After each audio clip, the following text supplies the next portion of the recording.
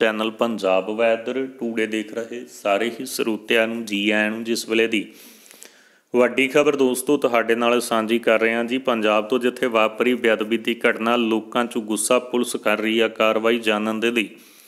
Video ਨੂੰ ਅੰਤ ਤੱਕ ਦੇਖ ਲਿਓ ਤੁਹਾਨੂੰ ਪੂਰੀ ਖਬਰ ਦਾ ਪਤਾ ਲੱਗ ਜਾਏਗਾ ਵੀਡੀਓ ਨੂੰ ਲਾਈਕ ਚੈਨਲ ਨੂੰ ਸਬਸਕ੍ਰਾਈਬ ਅਤੇ ਵੀਡੀਓ ਨੂੰ ਵੱਧ ਤੋਂ ਵੱਧ ਸ਼ੇਅਰ ਕਰਨਾ ਨਾ ਭੁੱਲਿਓ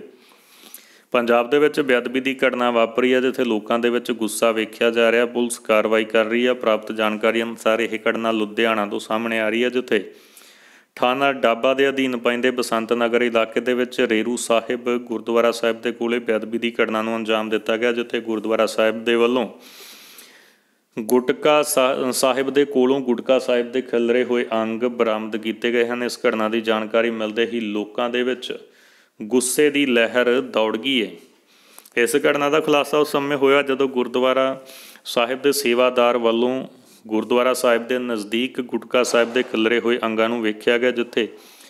ਉਹਨਾਂ ਦੇ ਵੱਲੋਂ ਇਹਨਾਂ ਸਭ ਨੂੰ ਇਕੱਤਰ ਕੀਤਾ ਗਿਆ ਤੇ ਘਟਨਾ ਦੀ ਜਾਣਕਾਰੀ ਪੁਲਿਸ ਨੂੰ ਦਿੱਤੀ ਗਈ।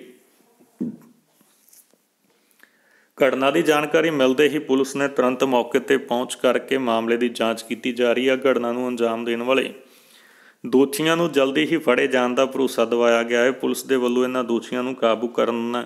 ਦੇ ਲਈ ਕਿਹਾ ਹੈ ਤਾਂ ਜੋ ਇਹਨਾਂ ਅਪਰਾਧੀਆਂ ਨੂੰ ਜਲਦ ਤੋਂ ਜਲਦ ਕਾਬੂ ਕੀਤਾ ਜਾ ਸਕੇ ਤੇ ਉਹਨਾਂ ਨੂੰ